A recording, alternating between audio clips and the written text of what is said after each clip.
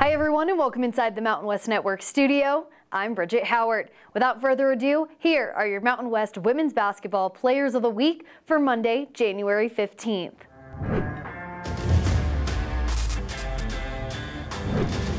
UNLV senior Desi-Rae Young is the Mountain West Player of the Week.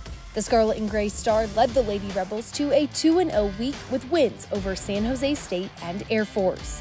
Young averaged 25 points, 8.5 rebounds, 2.5 assists, and 2.5 steals per game.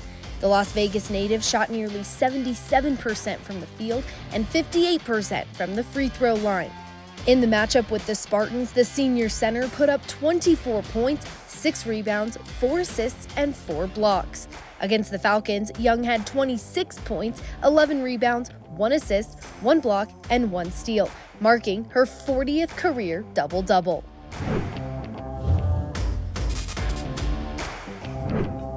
For the second straight week, San Jose State's Jyah LoVett is the freshman of the week. The California guard averaged 21 points, 3.5 rebounds, 3.5 assists, and 1 steal over the two games last week.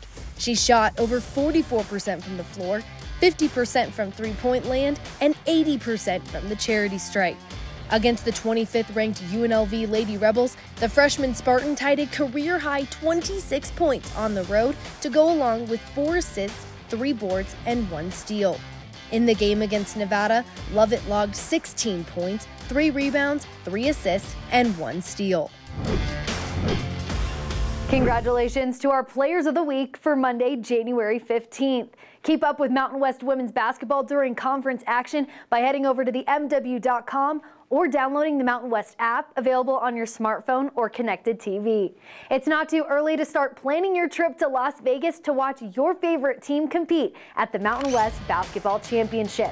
Get your tickets now at the MW.com backslash 2024 or at your school's athletics ticket office. From the Mountain West Network studio, I'm Bridget Howard.